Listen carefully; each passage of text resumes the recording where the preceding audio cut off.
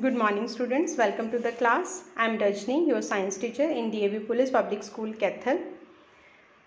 We are on the chapter Transportation in Living Organism, Plants and Animals. Transportation in animals take place by the circulatory system. We have studied about the heart and its part. Now, the most important part of the circulatory system is blood. Blood is the fluid medium that help in transport of different material throughout the body. Blood, it is made up of components. These are the components of blood.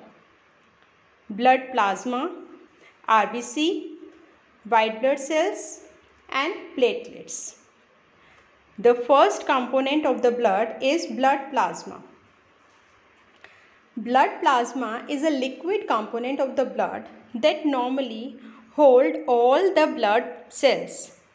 It makes about 55% of the body's total blood volume.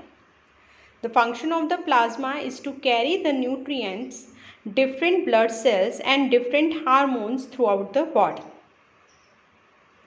And the second component of blood is RBC that is known as red blood corpuscles. These red blood corpuscles are red in color because of the protein molecule hemoglobin. Hemoglobin gives red color to the blood. Hemoglobin transport oxygen to the different part of the body. Therefore, it is also known as respiratory carrier.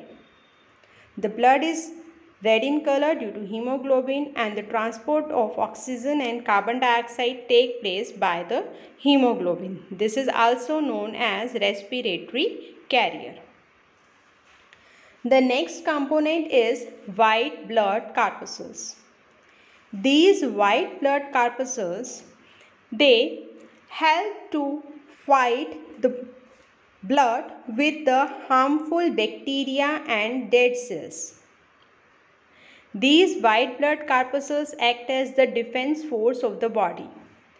They protect the body against the germs and the body against the infections.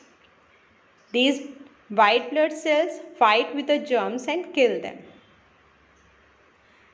The next component of blood is platelets.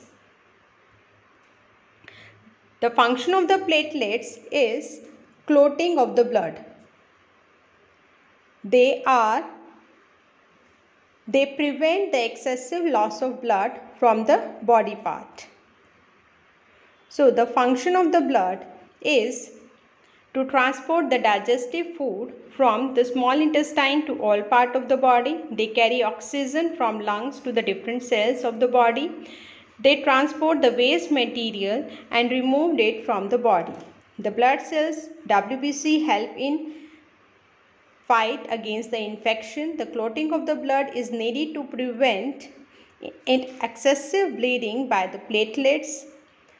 The blood, this is also maintain the body temperature.